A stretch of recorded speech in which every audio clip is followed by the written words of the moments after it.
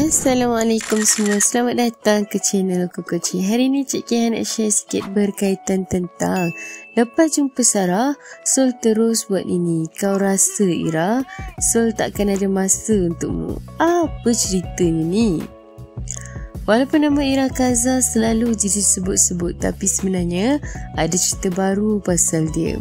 Suami dia Syamsul dengan Madu Putri Sarah tengah bergaduh pun diam je. Keluarga kena maki pun dia diam je. Sebenarnya Cik Kia tertanya juga nak tahu macam mana hidup dia sekarang jadi isteri kepada Syamsul. Maklumlah pengarah muda kaya raya tapi minta diskaun nafkah anak. Tapi tak apa, video ni bukan bertujuan nak bash Syamsul tapi mention sikit-sikit je. Sebenarnya Cik Kia tengok IG Syamsul nampaklah yang dia men- memang sibuk orangnya. Kerja memanjang. Kalau dalam IG tu shooting, shooting, shooting. Mungkin sebab itulah hilang seri dalam rumah tangga dia dengan Sarah. Dalam video IG Syamsul tu boleh nampak macam-macam lah babak yang dia tengah buat. Ada dua yang tarik perhatian Cik Kia. Satu kru tengah ramai-ramai bersiap, memang nampak serabut sangat. Cik Kia tak tahulah kalau semua filem macam tu ke tak. Sorry, bukan serabut tapi tak terarah. Tapi serabut sebab semua berjalan sana sini.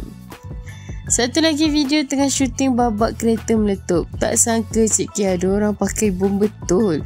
Ingatkan komputer je buat macam tu. Agaknya meletup macam tu paling sesuai lah kalau nak disamakan dengan rumah tangga diorang sekarang. Jadi Ira, Cik Gia tak sokong kau kahwin dengan suami orang. Tapi benda dah jadi, dah jodoh. Jagalah suami tu elok-elok. Tunaikan tanggungjawab apa semua tu. Jangan sampai rumah tangga yang ni pun rosak. Itu je nak pesan. Okeylah korang, itu je perkongsian Cik Kia kali ni. Kita jumpa dalam next video ya guys. Macam biasa, jangan lupa like, share dan subscribe. Bye. Ya, kejap-kejap. Nak lihat apa seterusnya? Subscribe dulu, okey? Okey, sedikit ya. Janji-janji. Okey.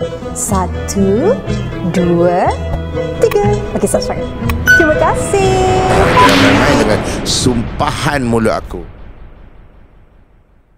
Diulangi artikel ini diambil dari artikel berkenaan. Sebagai penggemar media hiburan, harus berhati-hati dalam memilih sesuatu isu.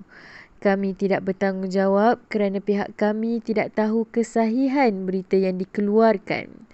Jangan meletakkan kepercayaan penuh dan membuat spekulasi atas perkara yang kita tidak pasti.